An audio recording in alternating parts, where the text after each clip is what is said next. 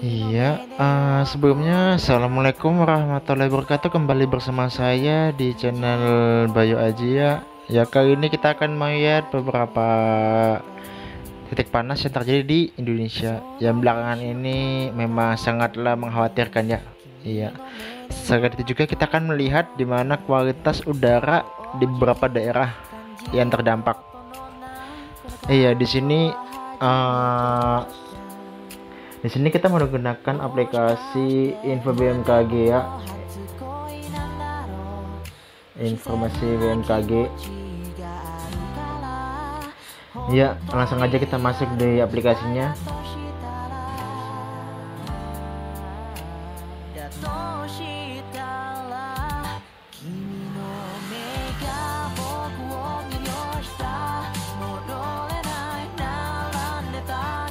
ya di sini ada beberapa pilihan yang ingin kita ketahui. Yang pertama itu ada cuaca uh, terus kemudian informasi tentang gempa bumi ada juga tentang iklim ya. Nah di sini nanti kita akan melihat dua item.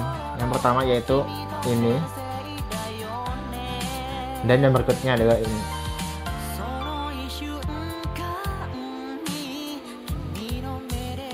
Oke, langsung aja kita lihat ya.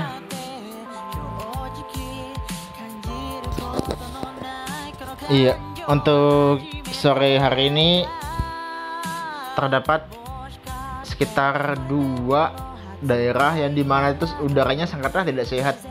Yang pertama adalah Pontianak, yang kedua adalah Pekanbaru. Coba kita lihat bersama.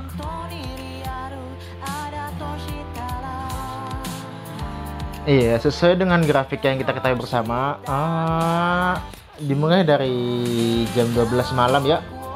Konsentrasi uh, titik keasaman berada di 70,08 yang di mana tuh uh, sesuai dengan standar yang ada di sini. Ini masih dalam standar sedang ya.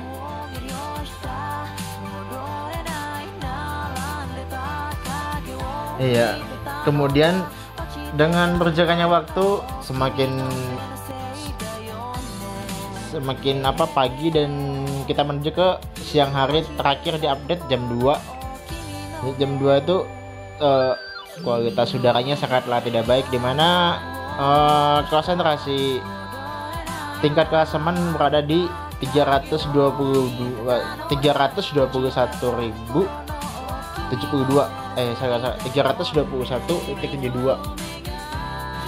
yang di mana uh, kualitas udara di sini sangatlah tidak sehat dan itu sangat uh, ya bisa menyebabkan seseorang itu terkena penyakit ispa lah.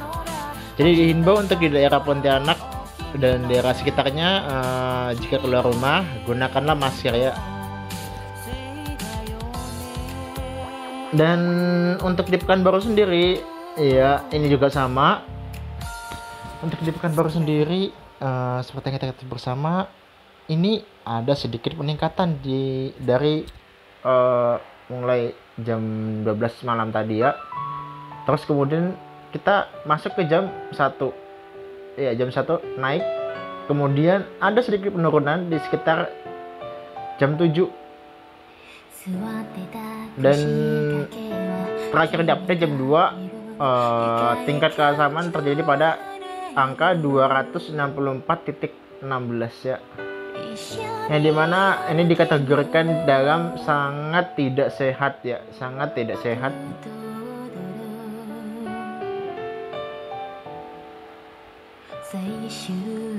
Oh iya, untuk kota-kota lainnya seperti Jambi, Palembang, Kemayoran masih masih dalam tahap sedang dan itu masih dalam tahap normal. Kita ambil saja di Jambi ya.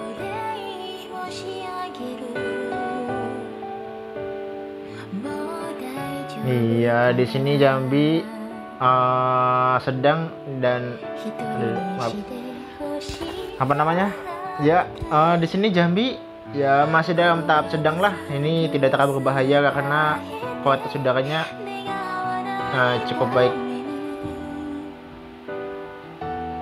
Oke, kita langsung aja ke titik panas.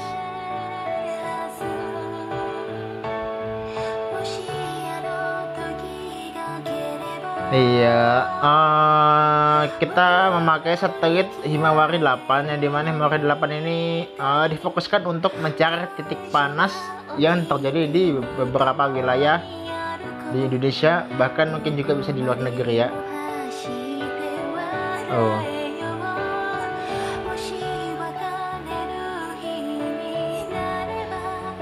Iya, di sini bisa kita lihat dari paling barat ya. Dari paling barat di sini uh, titik panas yang paling banyak itu di Jambi dan di Palembang. Seperti yang kita bersama.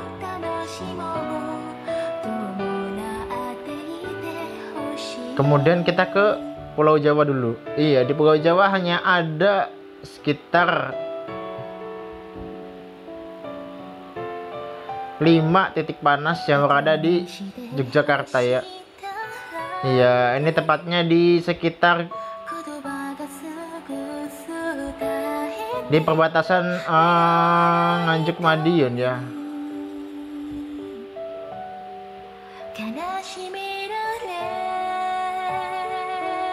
Dan kemudian kita naik ke bagian atas di bagian Pulau Kalimantan. Iya, seperti yang kita lihat bersama di Pulau Kalimantan di sini titik panasnya menyebar ya dari mulai Kalimantan Selatan, Kalimantan Barat, Kalimantan Timur. Di sini kita fokuskan ke Kalimantan Selatan di mana titik panas yang paling banyak berada di daerah Palangkaraya, Kalimantan Tengah,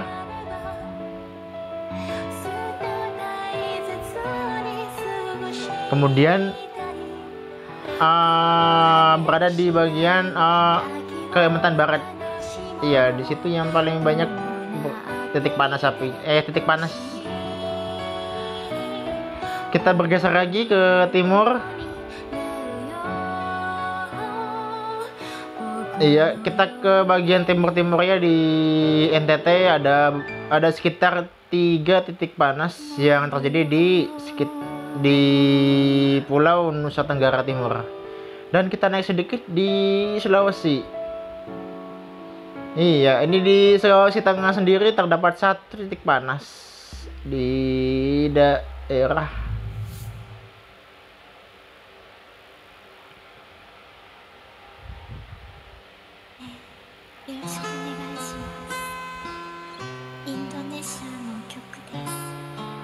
Di sekitar Tandulako ya. Tandulako sendiri uh, merupakan daerah di provinsi Sulawesi Tengah ya.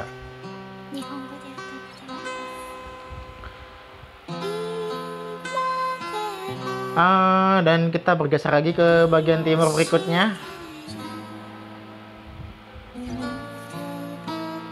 Iya, sepertinya tidak ada titik panas di daerah timur ya, di daerah timur Indonesia di bagian Papua dan Maluku.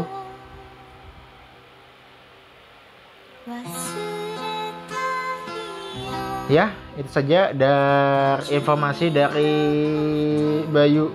Uh, semoga informasi ini menjadi bahan di mana kita uh, informasi ini semoga menjadi uh, tambahan informasi untuk sahabat-sahabat uh, setia yang ada di rumah maupun yang di luar rumah ya. Uh, pesan untuk saya jika kalian keluar rumah gunakanlah masker. Karena apa? Udara saat ini sangatlah uh, lembab. Ya di mana tuh uh, partikel-partikel debu akan banyak bertebaran di jalanan. Yang di mana tuh akan menyebabkan uh, uh, penyakit seperti sesak napas uh, asma bahkan batuk. Ya sekian dari saya ya. Terima kasih dan selamat beraktivitas kalian